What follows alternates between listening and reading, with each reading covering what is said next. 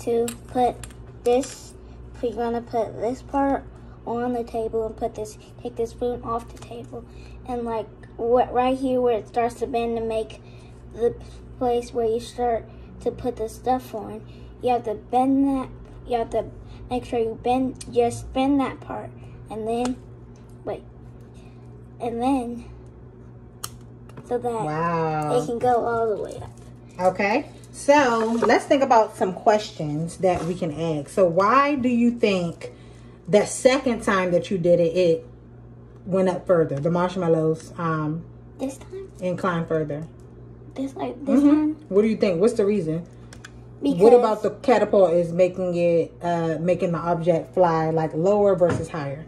the spoon made made it go higher because you see if you see this part right here where like it starts like go it's straight and then it goes down and it stays down where like it starts to go straight and then it goes down and it stays down that So part basically the way you position the catapult? that part you have to bend down you have to make sure you bend down Ooh, and wow. then it'll go up Okay.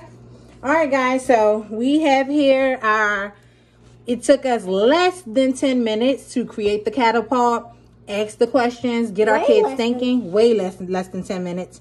Um, and we did this in two parts.